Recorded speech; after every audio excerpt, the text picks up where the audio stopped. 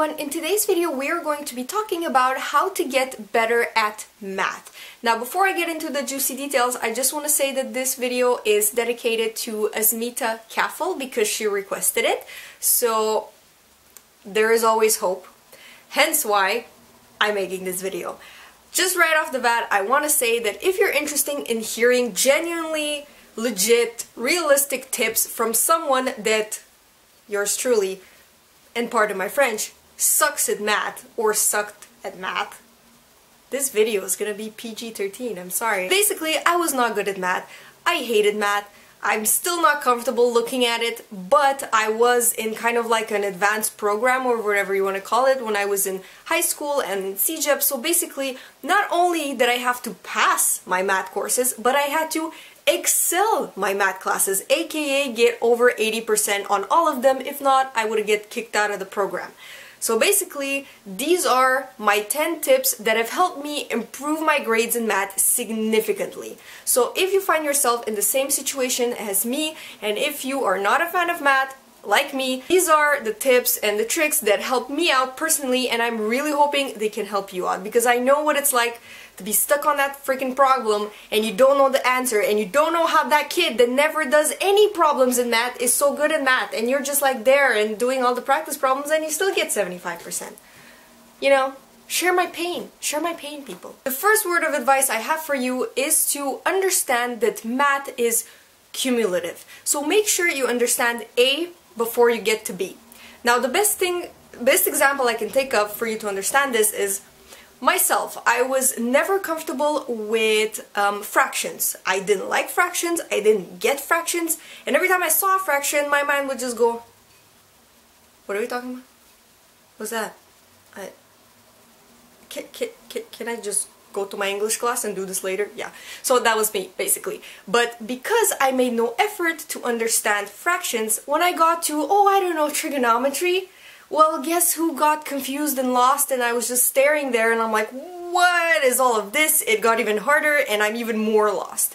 So what I'm trying to say is that if in class at any point you do not understand something, clarify it before you move forward. Don't just forget about it and be like, you know what, we don't have any problems on this anyway, so you know, I'm just gonna put it on the side and it's okay, I'm good at the other stuff. Trust me, that thing that you don't understand over there is gonna catch up to you. So ask questions to the teacher, ask someone to clarify it. Understand the basics before you move up out of experience because it's gonna bite you in the end like it bit me and it hurts. You need a band-aid and not even a cute band-aid like a Hello Kitty band-aid like a really nasty band-aid so don't get bit.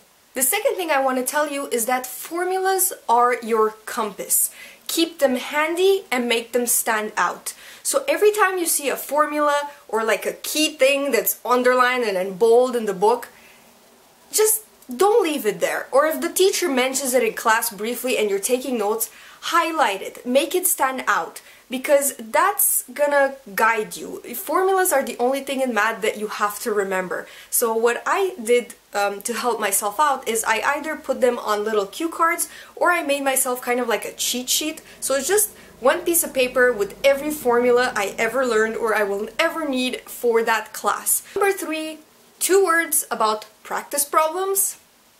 Do them. I don't care if they were not assigned on homework if you learn something new in math and in your book there are 25 practice problems, if you're struggling with math, guess what?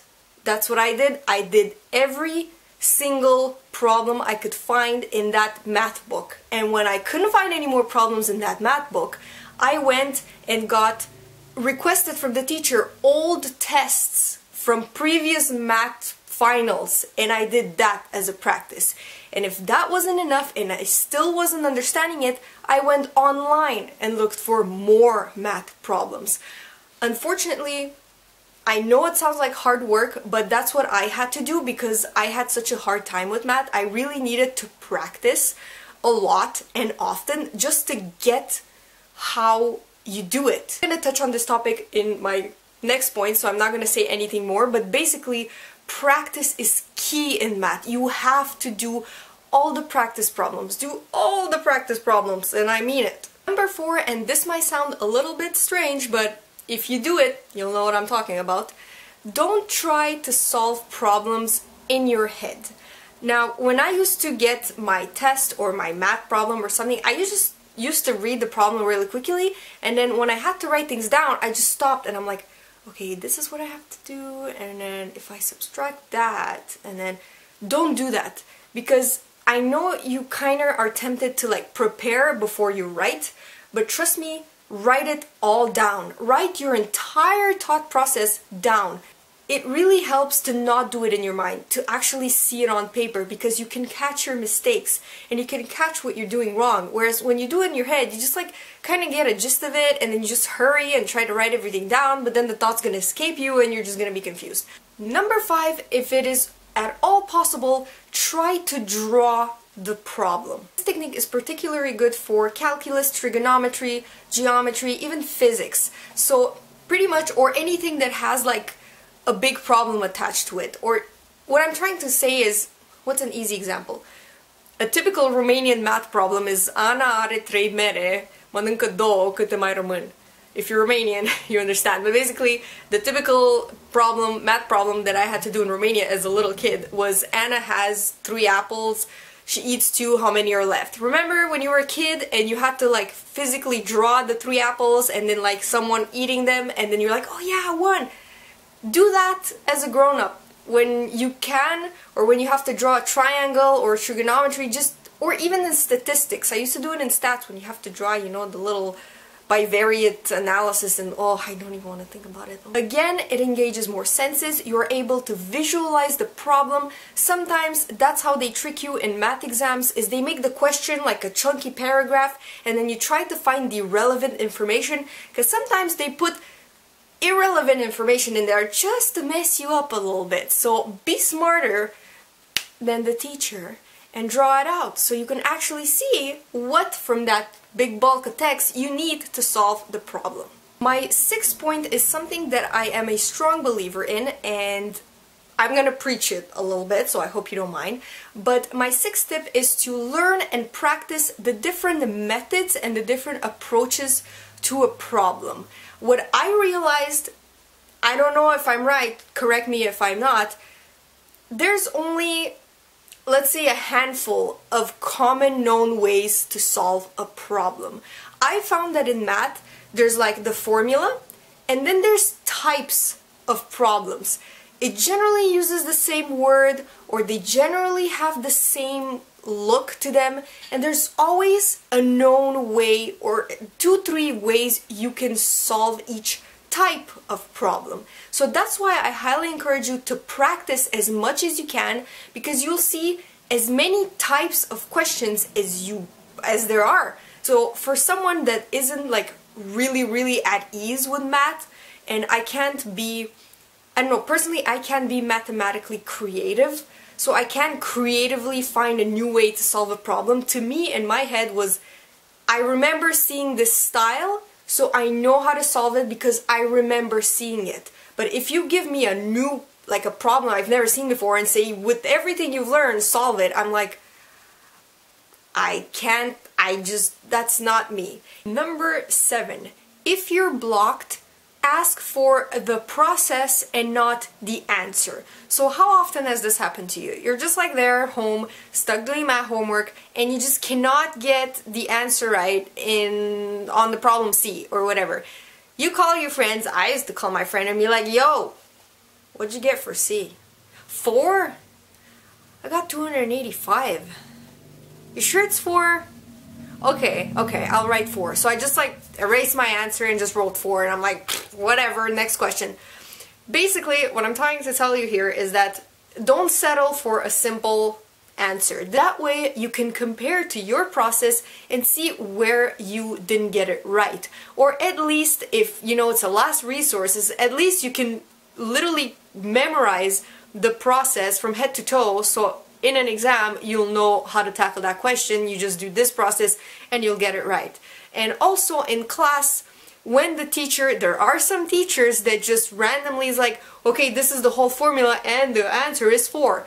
Raise your hand, don't be shy, and say, can you explain how you got to that answer. Number eight, dissect the long problems and underline the short ones. I'm huge on being very active with what you read, especially if you're in an exam.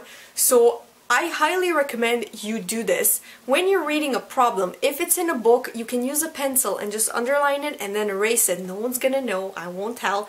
But basically, this helps really take the key info from that problem and you're gonna be able to solve the problem better. So, or what you can do, just when I say dissect the big problems, what I mean is that take it apart. If it's a huge paragraph and if you can't draw it, like I said in my previous point, take it apart. So take, I don't know, the circumference is this and this is the angle. Don't just leave it floating around in the big problem. Under it, when you come to solve it, just write circumference equal this, angle at, I don't know, 45 degrees. And that way you'll know all the info that you need is right there staring you in the face in your own handwriting. So you just extracted that valuable info put it right there. So then when you have to do the problem you have everything you need right there. Not just in a big floaty fantasy island type of paragraph. You have it like stop stop stop and then you can just take it and plug it in your formula and what do you know? It solves by itself. Number nine, I'm pretty sure I mentioned it in my previous points, but definitely with math, understand, don't memorize. So if you don't understand something, ask. Ask for help. Ask for your best friend to do homework with you if they're better at math. Go seek a tutor. If not physically, online there's so many cool like tutoring sites where you can just literally Skype with a person that's gonna help you do the math problem or like you can give in the math problem and the person corrects it I mean, YOLO, take the advantage of the internet if it's there, you know?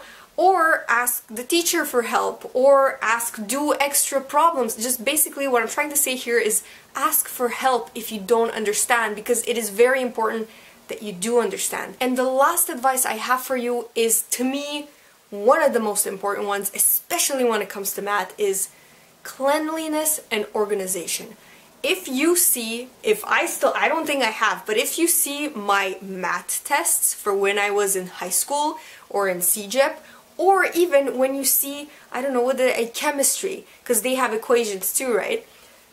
It is the most beautiful notebook you will ever see. I was insanely clean with my math problems and with my chemistry and physics because I don't know, to me, the material is already a mess in my head and I find it difficult and kind of like gibberish sometimes.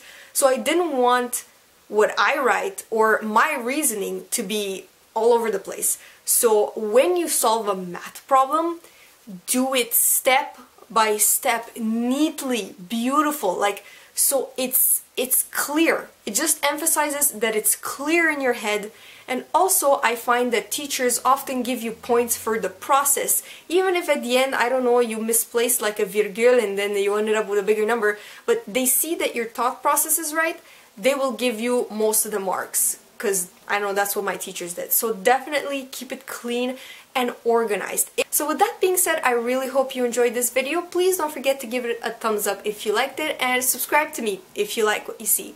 I will definitely see you in my next video. Bye guys!